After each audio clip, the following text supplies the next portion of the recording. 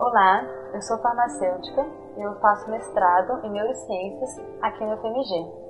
O nosso grupo trabalha com uma doença chamada derrame, que acomete milhões de pessoas no mundo todo e é uma das maiores causas de morte e de incapacidade. Infelizmente, não há um tratamento muito eficaz para essa doença e as pessoas ficam com muitas sequelas no futuro. Então, o nosso grupo ele trabalha com algumas substâncias que podem ser potenciais protetores no cérebro, ajudando a melhorar a qualidade de vida das pessoas.